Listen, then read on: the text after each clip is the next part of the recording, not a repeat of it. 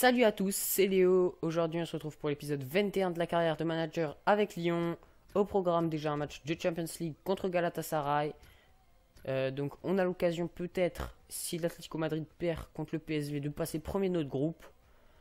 Euh, on est presque qualifié. Si on gagne ce match, normalement, on est qualifié pour la suite de la compétition. On aura un match de championnat contre le TFC, donc un match contre Sochaux et un match contre Bastia. Et je pense même jouer le match contre l'Atletico pour euh, s'assurer la qualification donc. Et pour même peut-être prendre la première place du groupe. On va pas attendre plus longtemps, je vais aller faire la composition d'équipe pour le match. C'est parti. C'est bon, j'ai fait la composition d'équipe. Euh, donc c'était assez difficile, il y avait beaucoup de joueurs fatigués. Donc j'avais fait la composition d'équipe, euh, j'avais changé dans le dernier épisode, on avait changé de composition d'équipe. Du coup je vais tester nouveau un match avec celle-là. Donc en attaque, Mbolo, attaquant gauche, Benzia, il peut jouer à ce poste. Benzia il est vraiment pratique parce qu'il peut jouer attaquant droite, attaquant gauche et buteur. Et donc sinon, attaquant droit, Balouli, il peut aussi jouer à ce poste. Euh, sinon ça change pas trop, j'ai remis une petite équipe des revenus de blessure, j'ai remplacé Yedvaj par Koetse parce que Yedvaj était fatigué. Donc on va partir avec cette équipe là pour le match contre Galatasaray. C'est parti le match Lyon contre Galatasaray, ça commence à la 12e minute avec Kwetse qui donne une balle à Balouli. Il va aller servir Grenier en profondeur. Il élimine un défenseur et rentre dans la surface. Il passe la balle à Mbolo qui frappe sur le poteau. Juste après la mi-temps, Burak donne une balle à Melo qui sert parfaitement Schneider en profondeur. Il va aller frapper à l'entrée de la surface, mais Lopez capte le ballon. 78e minute, Ferry centre sur ce corner. Gonalon récupère la balle dans la surface et frappe au point de pénalty. Il ouvre le score à la 79e minute en Ligue des Champions. On gagne donc un but à 0 contre Galatasaray grâce à ce but du capitaine Maxime Gonalon.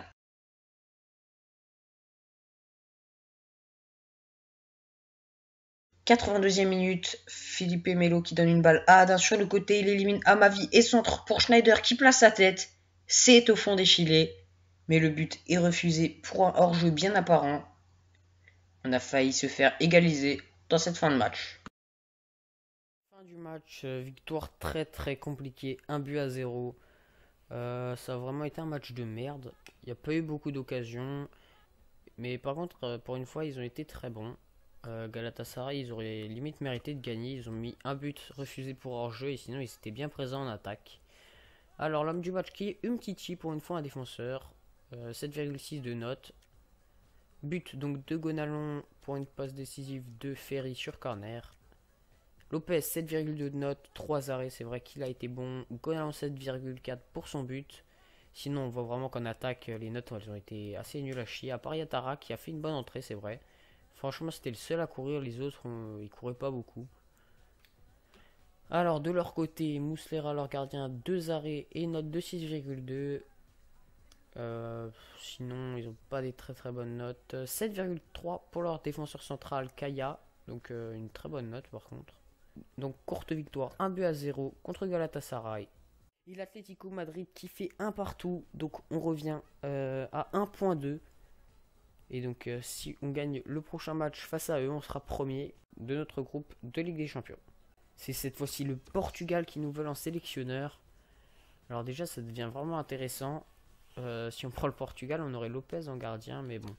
Après, Portugal, c'est pas une sélection que j'apprécie particulièrement. Je m'intéresse pas tellement. Donc, euh, je ne pense pas. Je ne vais pas prendre le Portugal. Euh, on va demander à nos joueurs qui soient un peu plus motivés parce qu'ils ont été nuls à chier. Alors là, on a deux matchs collés, un jour de repos seulement. Donc, ça va être assez compliqué de gérer ça. Alors en championnat, on est vraiment bon. On est toujours premier, euh, juste devant Saint-Etienne. 38 points et on a donc 6 euh, points d'avance sur eux.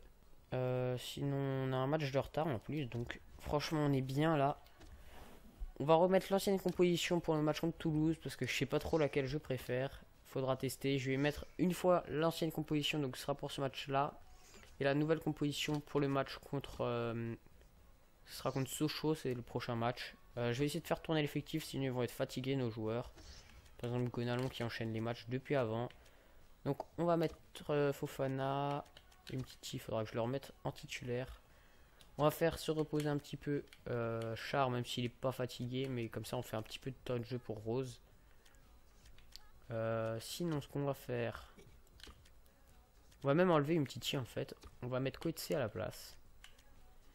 Yatara, j'ai trouvé qu'il avait fait un bon match. Du coup, j'ai bien envie de le faire rentrer en cours de match. Euh, on enlève Gonalon, de toute façon, il est fatigué. Et sinon, on va mettre Labidi à la place de Fares Balouli, qui est aussi fatigué. Euh, Ferry, on va le remplacer par Tolisso. Parce qu'il est bon et il a pas beaucoup de temps de jeu, alors qu'il est très bon. Il a déjà une très bonne note de général. Et défenseur gauche, à ma vie, pour l'instant, il a l'air d'être bon. Donc, euh, on va pas le remplacer pour rien. On va donc partir avec cette composition d'équipe pour le match contre Toulouse à l'extérieur. C'est parti. Toulouse contre Lyon, ça commence à la troisième minute avec Ben qui reçoit cette balle dans la surface et frappe, mais Lopez repousse. 15e minute de jeu, Mbolo à la balle, il avance et s'arrête à l'entrée de la surface et lance une frappe lointaine. Amada repousse magnifiquement la balle et l'envoie en corner. 33e minute, Andersen à la balle, il la donne à Fekir qui va aller se décaler sur le côté droit. Il va aller tranquillement éliminer son défenseur dans la surface de réparation pour marquer le but du 1-0. Un but très serein de notre attaquant. 1-0 pour Lyon.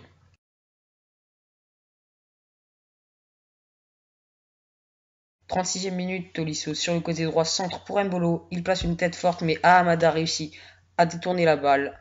55e minute, Andersen dans la surface de réparation se fait tacler par le défenseur toulousain. Penalty désigne l'arbitre et carton jaune pour le défenseur Spazic. C'est un penalty juste car le défenseur ne touche pas la balle et Andersen a eu l'intelligence de lever la balle juste avant le contact. C'est donc Fekir qui va aller transformer ce penalty à la 56e minute et c'est dedans. Une belle frappe du côté gauche. Dixième but en championnat pour Fekir. Il inscrit un doublé 2 à 0 à la 57e minute. 89e minute, Doumbia passe la balle à Regata qui sert Ben en profondeur. Il frappe, mais Lopez repousse. Ce n'est pas fini car Breslau étreigne la balle et frappe au point de penalty. Complètement raté, ça passe à côté. Et dans le temps additionnel, ils vont avoir un coup franc tiré par Ben et ça passe juste au-dessus. Fin du match, euh, nouvelle victoire, 2 buts à 0 cette fois-ci. Euh, une nouvelle fois, on n'a pas très très bien joué. Le, match contre l'Atlético Madrid, je pense pas que je vais le jouer parce que franchement, si je le joue avec ce niveau-là, je vais le perdre. Et ça servira à rien. Sinon, doublé de Fekir. Euh, il doit être homme du match, je pense. Oui.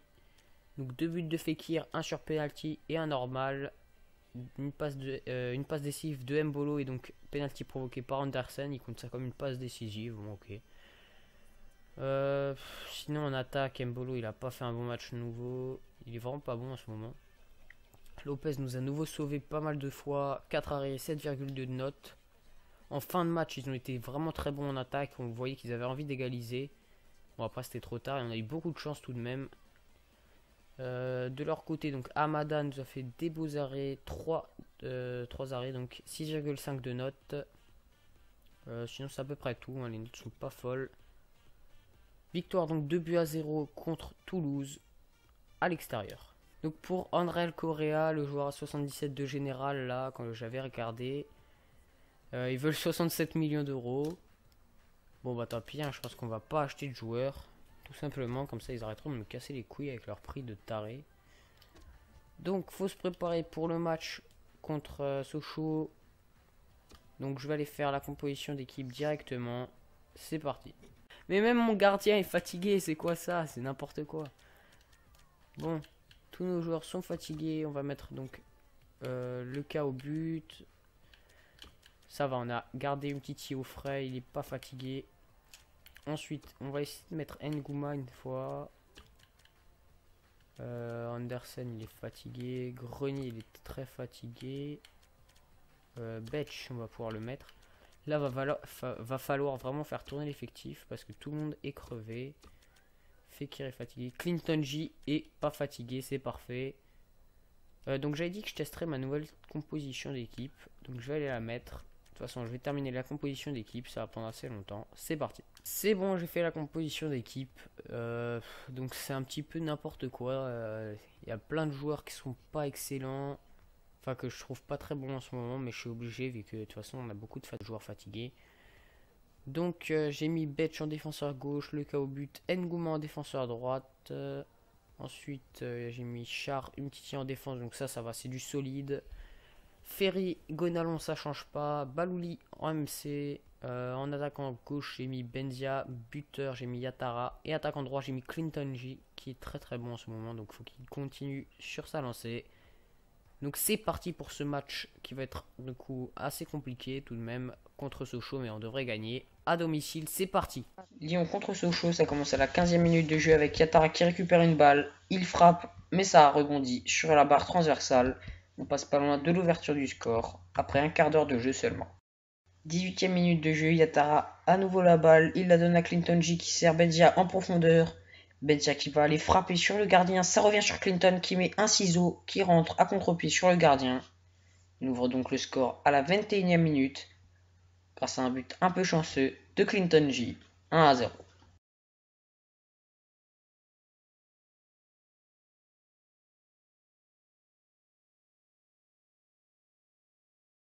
25e minute de jeu, Gonalon récupère une fois la balle, Melopi la reprend. Il va ensuite prendre la balle à Mathias Vivian. Il sert parfaitement Mohamed Yatara qui est seul. Il frappe une fois sur le gardien et une fois à côté. Alors qu'il avait été parfaitement servi par le capitaine, Maxime Gonalon. 37e minute de jeu, Balouli récupère la balle et donne la balle à Yatara. Il se fait tacler dans la surface de réparation. Je me suis mis à crier et non, il s'est pas fait tacler du tout, c'est juste qu'il s'est pas marché ce gros abruti. Il s'est cassé la gueule comme une merde tout seul. Au retour des vestiaires, Fares Balouli va éliminer magnifiquement un joueur, grand pont, et il obtient ensuite une faute.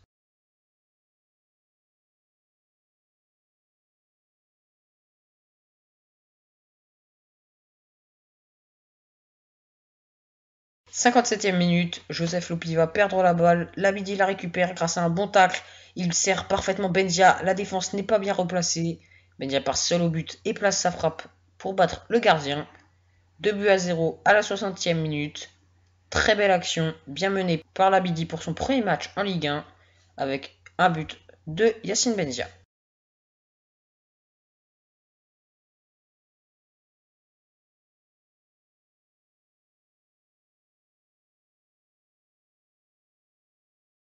66e minute, on mène déjà 2 à 0 et Ferry lance Yacine Benzia en profondeur. Il va aller rentrer dans la surface de réparation et éliminer son défenseur. Il frappe sur le gardien, ça revient sur Clinton J qui tire, mais malheureusement pour nous, il est signalé hors jeu. Il reste 10 minutes de jeu, Bedge dégage la balle, on a de la chance, ça revient pile sur Benzia. Il va aller éliminer son défenseur d'un beau geste technique et partir au but. Il va aller rentrer dans la surface de réparation seul face au gardien. Je tente une petite talonnade, ça rate. Je me retourne et je frappe une nouvelle fois. Le gardien l'arrête encore une fois. Et ça revient sur la BD qui peut marquer le but du 3 à 0. On marque donc à la 83e minute. Et on s'assure donc largement la victoire. Première sélection et premier but pour Zachary Labidi en Ligue 1, plus une passe décisive. Fin du match, enfin une victoire, 3 buts à 0, ça fait plaisir. Euh, ce match-là était enfin assez intéressant. 9 tirs à 1, 5 cadrés. Euh, sinon, Yatara, j'ai trouvé très décevant. Donc, c'était son dernier match avec nous, je pense. Il va être vendu. Déjà, il va être vendu, c'est sûr. Mais je pense que c'était son dernier match avec nous. Euh, Benzia, homme du match, avec un but. C'est tout. Donc, euh, une note de 8,1. Donc, très bonne note de sa part. Balouli, 7,1. Il est sorti. Labidi qui a mis son premier but en pro avec nous. 7,6 de note. Clinton G, 7 de note. 7,5 euh, pour Gonalon. 7,7 pour Char. Franchement, je me suis éclaté. Ce match il était vraiment parfait. Donc, but de Benzia, Labidi et donc Clinton G. Avec des passes décisives de Labidi, de Yatara. C'est tout, oui. Euh, donc, sinon, pour en revenir au dernier but, c'est n'importe quoi. On a tiré trois fois n'importe comment. Et à la fin, Labidi a réussi à marquer. Donc, tant mieux pour lui. Un tir en tacle un peu chelou.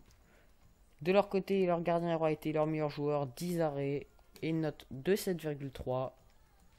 Donc victoire 3 buts à 0 contre Sochaux à domicile.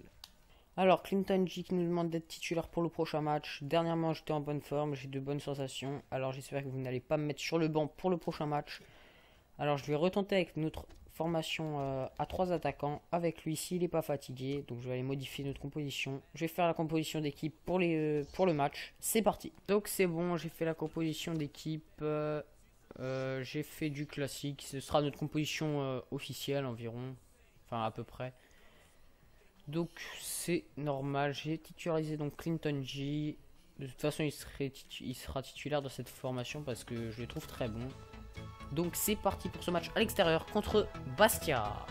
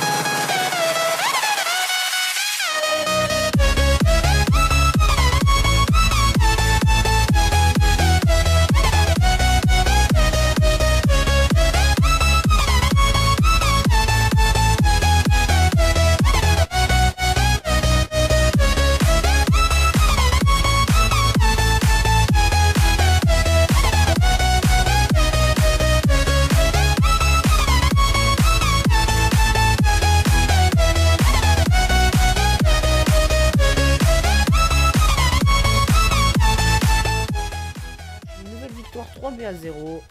Euh, ça a franchement été un match intéressant. 11 tirs, 7 cadrés, 2 tirs pour eux, 1 cadré. Ils ont tout de même eu une belle occasion à un moment.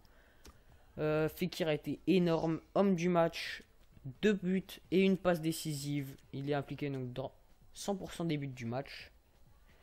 Euh, sinon, Grenier a mis un but, donc c'était passe décisive de Fekir, donc évidemment. Et donc, Andersen a aussi fait une passe décisive c'est tout. Oui. J'ai même pas fait de remplacement. J'ai complètement zappé pendant le match.